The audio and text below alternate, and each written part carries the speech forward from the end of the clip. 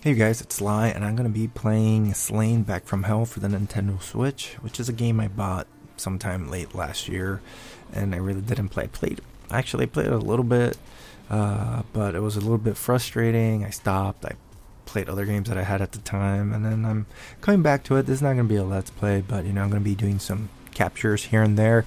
Um, I played uh, the first level right now, and let me get a few things out of the bat. This game is hard but not in the let me learn kind of hard. It's not like Dark Souls where it's it's forgiven, right? Like once once you learn it's it's okay. No, this is annoying.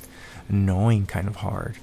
Just hard for the sake of being hard. Which some of you guys are gonna say, well that's Dark Souls, but no, I mean the enemies respawn incredibly fast. You don't even have to move off screen. Just take like one or two or three steps and bam it respawns, and um, that could get in your way when you're fighting mini boss or like a stronger enemy that's right in front of you.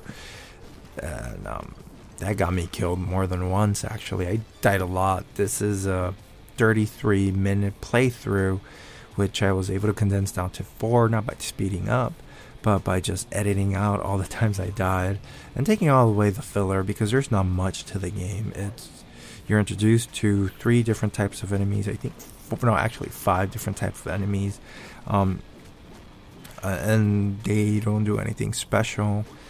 And then um, they're they kind of look like enemies from Castlevania, like a skeleton. You get the Medusa head flying around, uh, a bigger skeleton, um, and then you fight towards the end someone I call Groot or a Wisp from uh, Lord of the Rings but it's just really like a brute monster or whatever the hell that is. Um, I think it's trying too hard to be Castlevania. And um, in a time devoid of the Castlevania like game, you know, you I would see why people would take it up uh, to themselves to create a game like that. But it's just missing. It's it's just missing on everything. At least on the first level, I'm might need to play a little bit more. Actually, that's probably what I need to do. I'm in the second level already, and I've played a little bit more. Uh, and that's on a different recording, but I'll get to that sometime later. But this is not really going to be a Let's Play series because I don't think I'm going to finish the game. I think that I'm just going to do a few more levels, hopefully not bitch and see the greatness of the game. But right now, I just feel that it's just too hard to begin with you need to have a game that e- eases you in into the world, not set you off.